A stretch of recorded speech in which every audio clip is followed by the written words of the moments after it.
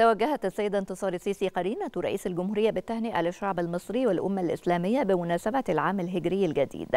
وعبر حسابها الرسمي على مواقع التواصل الاجتماعي أعربت السيدة انتصار السيسي عن تمنياتها بأن يعيد الله العام الهجري الجديد على مصر وشعبها بالخير واليمن والبركات.